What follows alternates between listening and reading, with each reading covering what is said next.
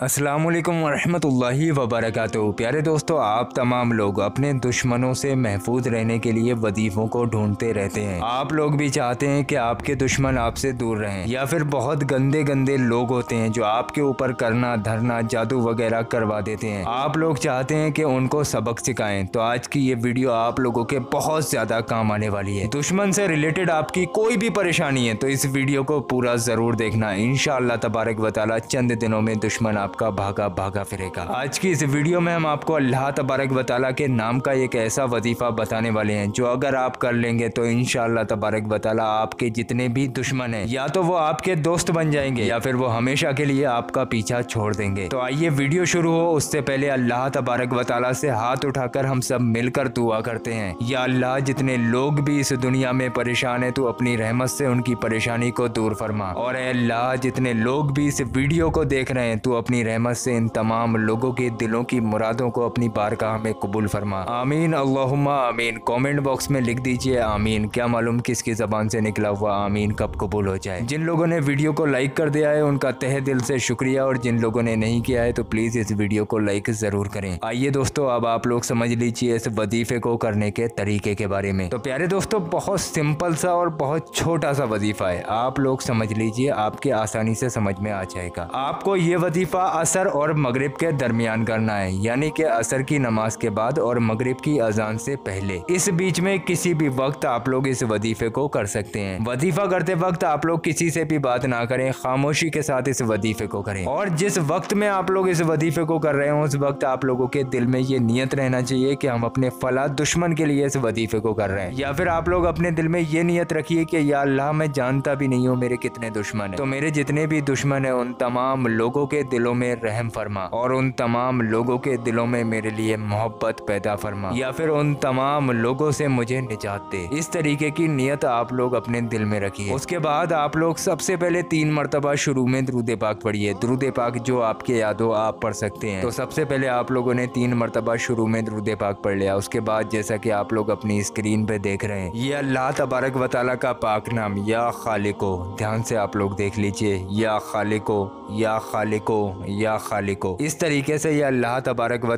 का पाक नाम 300 मरतबा, यानी कि 300 टाइम पढ़ें। उसके बाद तीन बार आखिर में द्रुद पाक पढ़ें, वही द्रुद पाक जो आपने शुरू में पढ़ा था। बस आप लोगों को इतना ही ये वजीफ़ा करना है। वजीफ़ा पूरा होने के बाद आप लोग अल्लाह तबारक व ताली से अपने दुश्मनों से निजात पाने के लिए दुआ करें। इन तबारक व चंद दिनों में आप लोगों की दुश्मनी ख़त्म हो जाएगी। और जितना भी आप लोग इस वजीफ़े को करते रहेंगे, अगर रोज़ाना इसको करेंगे तो आपका जो दुश्मन है, या तो उसके दिल में मोहब्बत पैदा हो जाएगी आपके लिए। नहीं तो इतनी बेचैनी पैदा हो जाएगी कि वो खुद परेशान हो जाएगा कि अल्लाह, मैंने ऐसी कौन सी गलती कर दी जिसकी ये सज़ा मुझे मिल रही मैं खुल के तो इस वीडियो में नहीं बता सकता, लेकिन आप लोगों को अगर किसी ने ज़्यादा ही जलील कर रखा है तो आप लोग उसके लिए इस वजीफ़े को ज़रूर करें। इन तबारक वाली आप लोगों का काम हो जाएगा। वीडियो को अगर लाइक नहीं किया तो ज़रूर लाइक कीजिए। बहुत सारे लोगों के दुश्मन होते हैं और हर इंसान चाहता है कि उनसे उनकी हिफाजत हो। तो प्लीज़ उन तमाम लोगों तक इस वीडियो को शेयर ज़रूर कीजिए और रोज़ाना इस वजीफ़े को करते रहिए। इस वजीफ़े की कोई ये मुद्दत नहीं है कि दस दिन, बीस दिन, ग्यारह दिन ऐसा कुछ नहीं है। आप लोग रोज़ाना कीजिए इन तबारक बताला हर बुरी चीज़ से आप लोगों की हिफाजत होगी। और हमने आप लोगों की स्क्रीन पे दो वीडियोज़ लगा दी है। उन वीडियो पे क्लिक करके उन वीडियोज़ को भी देखिए। सामने राउंड राउंड में जी एस वर्ल्ड लिख के आ रहा है उस पर क्लिक करके चैनल को ज़रूर सब्सक्राइब कीजिए।